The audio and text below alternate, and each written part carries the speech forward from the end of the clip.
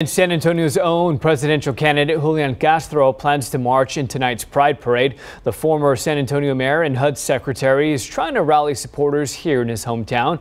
Meanwhile, last night Castro campaigned in Austin as part of a sweep through Texas following the Democratic debate this week. He's trying to build on the momentum he's gained after some political analysts have labeled Castro as the biggest winner from Wednesday's debate. Democrats want to know if our nominee is going to be able to stand up to Donald Trump on that debate stage.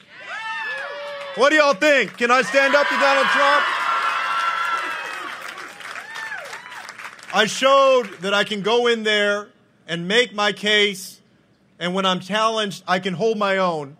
That's what we're going to have to do and more if we're going to beat Donald Trump. And Castro tweeted last night that he believes he can turn Texas blue.